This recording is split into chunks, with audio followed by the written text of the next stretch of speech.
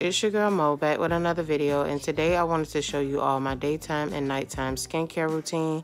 So it's just something about feeling refreshed, alive, and beautiful for me in the mornings and at night. So I go about it with my micellar water to cleanse my pores, my Bioderma cleanser, my snail mucus toner, and then I go about my steamer which is absolutely amazing.